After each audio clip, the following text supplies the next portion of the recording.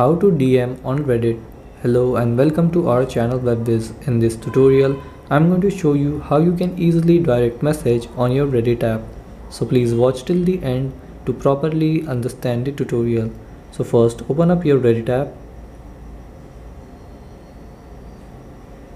and then once you're on Reddit app so for example if I want to DM this person you have to tap on their name their username and then this box will open up and here you will see few options like view profile let's chat and blocks. You have to tap on start chat then wait for few seconds and the message box will open. Now here you can type the message you want and then tap here to send it and the message will be sent.